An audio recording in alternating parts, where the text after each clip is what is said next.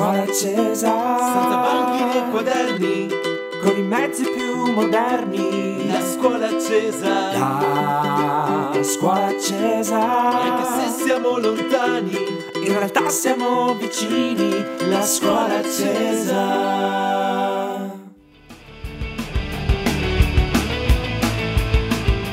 Bambine e bambini, la scuola è accesa. E come se è accesa? 48esima puntata del nostro appuntamento quotidiano. Qui è come sempre il maestro Alessio che vi parla. Piano piano stiamo raggiungendo traguardi importantissimi. Sì, perché entro la settimana arriveremo alla puntata numero 50. Inoltre, con domani saranno ben due mesi che ci facciamo compagnia pressoché ogni giorno. Non male, assolutamente. Chissà quanti di voi, classe più grande di tutti i tempi, hanno seguito ogni singolo episodio. Mm, wow, quante mani alzate, siete tantissimi. Grazie mille, ci seguite in moltissimi e l'affetto che ci arriva attraverso i vostri messaggi e i vostri video è davvero fortissimo. E i video non sono mica finiti, eh? Ce ne sono ancora da vedere, sì sì, e sono uno più bello dell'altro. Ci vuole però un po' di pazienza, ne trasmettiamo uno a sera per goderceli come si deve. Del resto sono pezzi unici, opere d'arte irripetibili, meritano il giusto spazio. Ricordo, a chi non lo avesse ancora fatto, che il video si manda al numero WhatsApp 351 8195 858. Ormai ne abbiamo visti molti e avrete capito che è una questione di creatività, simpatia e dolcezza. Naturalmente anche oggi, in coda alla puntata, vedremo un'altra meravigliosa versione della nostra sigla. Dunque, siamo tutti entrati in pieno nella fase 2. Si può uscire di casa, pur con la massima attenzione, perché lo sapete, quel tipaccio del virus è un furbastro senza pari e bisogna essere molto giudiziosi. Però le cose stanno gradualmente cambiando e questa è una notizia molto positiva. Mi raccomando, uscite con la mascherina, evitate gli assembramenti, ovvero evitate di creare un gruppo di persone che stanno troppo vicine. Questo tipo di attività è ancora vietato perché è stando a contatto ravvicinato che si rischia di più. Ma non preoccupatevi, sono precauzioni assolutamente giustificate e comunque speriamo di poter tornare alla normalità quanto prima. Anzi, magari il mondo là fuori sarà addirittura più bello. Chissà che non si impari a volersi tutti un po' più bene. Vedremo, già vedremo, ma ora abbiamo una grande responsabilità. Dipende anche da noi cambiare le cose, ma lo so che siete bravissimi e so anche che volete un mondo sano e bello. Beh, è arrivato il momento di fare la propria parte. E noi qui della scuola accesa siamo prontissimi a fare la nostra parte, con le meravigliose storie, un po' di simpatia e tanta voglia di compagnia. E allora, facciamo l'appello, altrimenti che scuola è? Vediamo. Mascherina? Sì, c'è. I fratelli guanti? Sì, ci sono, bene. Eh, gel lavamani? Presente? Bene, ci siamo tutti, tutti pronti per la fase 2 della puntata, quella super divertente, quella di Matilde. E allora, pigiamini autocertificati, copertine anti-assembramento, lucine da corridoio a norma di decreto. Maestra Letizia, maestro Federico, che il racconto abbia inizio.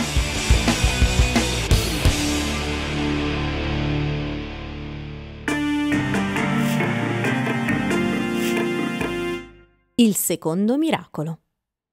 Matilde non si precipitò fuori dall'aula con gli altri. Quando i suoi compagni furono usciti, rimase seduta nel banco, in silenzio, riflettendo.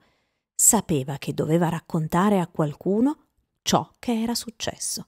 Non poteva tenere per sé un segreto così grosso. Aveva bisogno di una persona adulta, saggia e comprensiva, che l'aiutasse a capire il significato di quello straordinario avvenimento. Sua madre e suo padre non avrebbero potuto aiutarla. Se anche avessero creduto alla sua storia, cosa della quale dubitava, certamente non avrebbero capito che l'accaduto era davvero sorprendente. Decise perciò di confidarsi con la signorina Dolcemiele. Lei e la maestra erano rimaste sole. La signorina Dolcemiele era seduta al suo tavolo e sfogliava delle carte. Alzò gli occhi e disse Allora, Matilde, non vai a giocare con gli altri? Posso parlarle un momento? Certo, c'è qualcosa che ti preoccupa. Mi è capitata una cosa stranissima, signorina. La signorina Dolcemiele si fece subito attenta. Da quando aveva avuto i due disastrosi colloqui a proposito di Matilde, uno con la direttrice e l'altro con i signori dal verme, aveva pensato molto alla bambina, chiedendosi come avrebbe potuto aiutarla. E ora Matilde era là, seduta, con una curiosa esaltazione dipinta in viso e le chiedeva di parlarle in privato. La signorina Dolcemiele non l'aveva mai vista così, con gli occhi sbarrati e l'aria stranita. Su, Matilde, raccontami che ti è successo. La signorina Spezzi in due non mi espellerà, vero? Non sono stata io a mettere quell'animale nella sua brocca, glielo giuro. Lo so. Mi espellerà? Non credo. La direttrice si agita molto, ecco tutto. Meno male, ma non è di questo che volevo parlarle. Che cosa volevi dirmi, Matilde? Voglio raccontarle com'è andata a proposito di quel bicchiere. Lei ha visto che si è rovesciato sulla direttrice, vero? Sì, l'ho visto. Sa, signorina, io non l'ho toccato, non mi sono neanche avvicinata. Lo so, l'ho detto anche alla direttrice che non potevi essere stata tu. Invece è vero che sono stata io, signorina Dolcemiele. È proprio di questo che le voglio parlare. La maestra la guardò attentamente. Non sono sicura di avere capito. Mi sono talmente arrabbiata per essere stata accusata di qualcosa che non avevo commesso che sono riuscita a farlo succedere. A fare succedere che cosa, Matilde? Ho fatto rovesciare il bicchiere. Continuo a non capire, disse gentilmente la signorina Dolcemiele. Sono stata io, con lo sguardo. Guardavo il bicchiere e desideravo con tutte le mie forze che si rovesciasse. E poi i miei occhi sono diventati strani, caldissimi, e ne è uscito uno strano potere e il bicchiere si è rovesciato.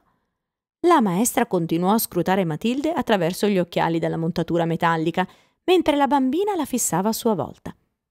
Non capisco. Hai davvero fatto rovesciare il bicchiere? Sì, guardandolo. La signorina Dolcemiele rimase un po' in silenzio non credeva che Matilde le dicesse di proposito una bugia, piuttosto pensava che si fosse lasciata trasportare dall'immaginazione. Vuoi dire che te ne stavi seduta e hai ordinato al bicchiere di cadere? Qualcosa del genere, sì. Se l'hai fatto davvero è il più grande miracolo compiuto da un essere umano dai tempi di Gesù, sorrise la maestra. L'ho fatto davvero, signorina.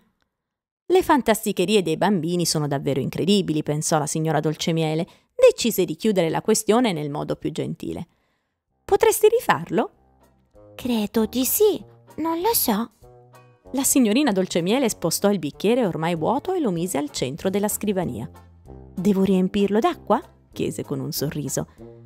Non credo che abbia importanza. Va bene allora, su, rovescialo. Forse ci vorrà un po' di tempo. Prenditi tutto il tempo che vuoi, non ho fretta.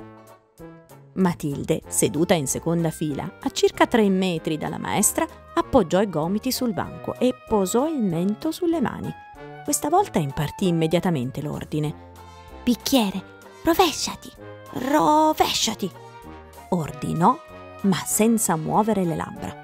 Si limitò a gridare queste parole dentro di sé. Poi si concentrò completamente e fu come se il potere della mente e della volontà le affluissero agli occhi. Di nuovo, ma più in fretta, percepì l'accumularsi dell'energia, mentre le sue pupille diventavano più calde. Poi milioni di invisibili, piccolissime braccia si proiettarono verso il bicchiere, mentre lei, senza emettere il minimo suono, continuava a gridare al bicchiere di rovesciarsi.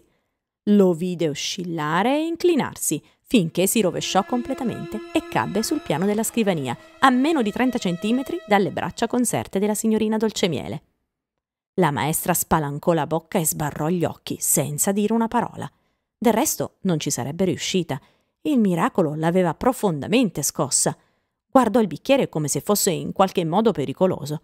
Poi alzò la testa e fissò Matilde. La bambina era pallidissima, tremava e guardava fisso davanti a sé, ma senza vedere. Tutto il suo viso appariva diverso, gli occhi erano lucidi e mentre se ne stava lì senza parlare, appariva bellissima. La signorina Dolcemiele aspettava anche lei un po' tremante, guardando Matilde che si riprendeva lentamente. A un tratto il visetto della bambina riprese di colpo un'aria di calma serafica. Sto bene. Sto bene, davvero. Non deve spaventarsi, signorina. Sembravi così lontana. Sì, ero lontana, volavo oltre le stelle, con ali d'argento. Era meraviglioso. La signorina Dolcemiele continuò a guardarla come se fosse stata l'alba della creazione, il primo mattino, l'inizio del mondo. Stavolta è successo più in fretta. Non è possibile. Non riesco a, a crederci. È, è incredibile. Chiuse gli occhi per un istante. Quando li riaprì, sembrava aver ripreso il controllo di sé. Ti piacerebbe venire a fare merenda a casa mia? Sì, mi piacerebbe moltissimo. Bene, raccogli le tue cose e vediamoci fuori tra un paio di minuti. Non racconterà a nessuno di questo, eh, di quello che ho fatto, vero signorina Dolcemiele? Neanche per sogno.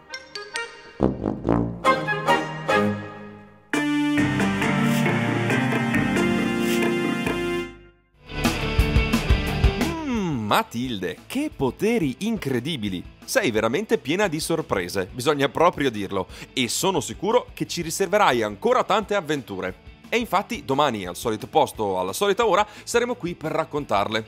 Ci stiamo avvicinando alla fine del nostro amatissimo libro. Seguite con attenzione gli ultimi capitoli, mi raccomando. Bene, allora siamo giunti al momento tanto atteso della puntata, la nostra challenge, che anche stasera ci regala una perla, firmata da Yasmin, che ci offre una simpaticissima versione della nostra sigla. Grazie cara Yasmin, è con questo spirito di allegria che arriveremo alla fase 3, alla 4, alla 5 e poi riapriremo la scuola finalmente. Grazie per il tuo contributo, la scuola splende anche grazie a te. E allora cari bambini, buonanotte a tutti e Yasmin, a te la sigla!